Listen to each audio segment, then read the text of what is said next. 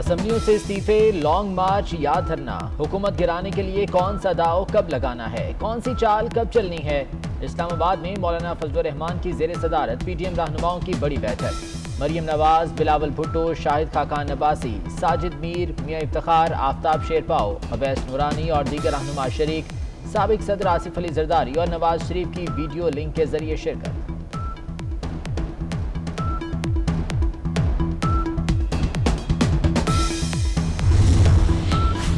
तमाम जमाती कारकुनान को जेल भरो तहरीक के लिए तैयार रखें। मौलाना फजल रहमान ने जेल भरो तहरीक चलाने की तजवीज़ दे दी।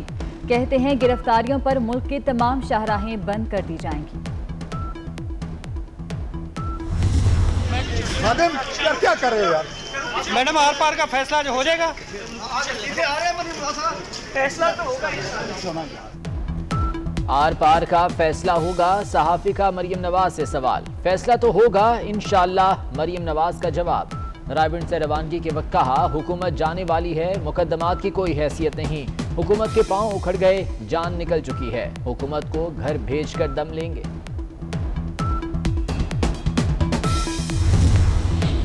लाहौर जलसे से पहले लीगियों के खिलाफ पर्चे ही पर्चे। रैलियों और जलसों पर तीन रोज में 21 मुकदमा दर्ज। मिस्री शाह शादबाग शाहदरा, शेराकोट, बादामी बाग के थानों में मुकदमात में पाँच एम एन एस चार एम पी एस और सैकड़ों कारकुन नामजद।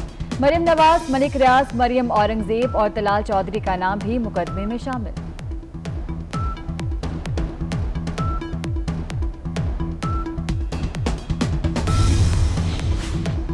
हुकूमत ने लाहौर में अपोजिशन का जलसा रोकने के लिए पानी का सहारा ले लिया। मीनार पाकिस्तान ग्राउंड में पानी छोड़ दिया गया। बिलाल यासीन और दीगर रहनुमाओं का जलसा गाह का दौरा। मीनार पाकिस्तान ग्राउंड को तालाब बनाया जा रहा है। एक जलसे से खौफजदा हुक्मरान के लिए चुल्लू भर पानी ही काफ़ी होता है। परवेज रशीद का तंजिया ट्वीट।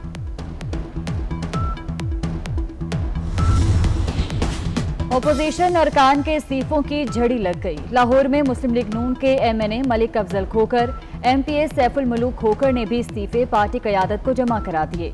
जे यू आई के चौदह अरकान कौमी असम्बली और चार सैनिटर्स ने भी इस्तीफे, मौलाना फजल रहमान के हवाले किए। बलोचिस्तान और खैबर पख्तूनख्वा असम्बली में जे यू आई अरकान को इस्तीफे तैयार रखने की हिदायत।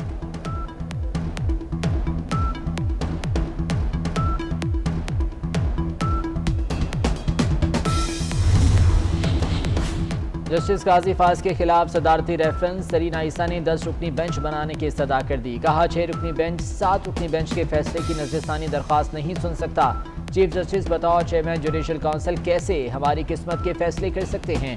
सरीना ईसा की बात पर जस्टिस उमर अता बंदियाल की बरहमी। रिमार्क्स ये, बेंच बनाना चीफ जस्टिस का आईनी इख्तियार है। अदालती रिमार्क्स पर सरीना ईसा ने माफ़ी मांग ली।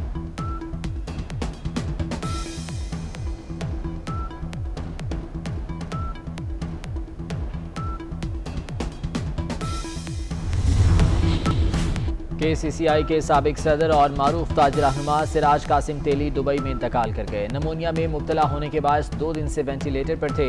ग्रुप लीडर एप्टमा गौहर एजाज की तरफ़ से इजहार अफसोस, मरहूम के बुलंद दर्जात के लिए दुआ।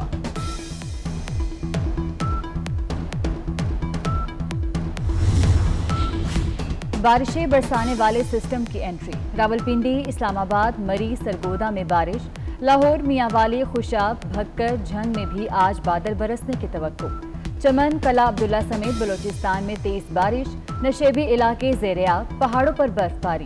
चल्लास ब्यामेर बाबू सरटॉप नांगा पर्वत, एबटाबाद में सफ़ेद मोतियों की बरसात। कराची में दिसंबर के महीने में भी गर्मी। कम से कम पारा पंद्रह आशारिया आठ रिकॉर्ड। महकमे मौसमियात का कहना है कि दर्जा हरारत तैंतीस डिग्री सेंटीग्रेड तक जा सकता है।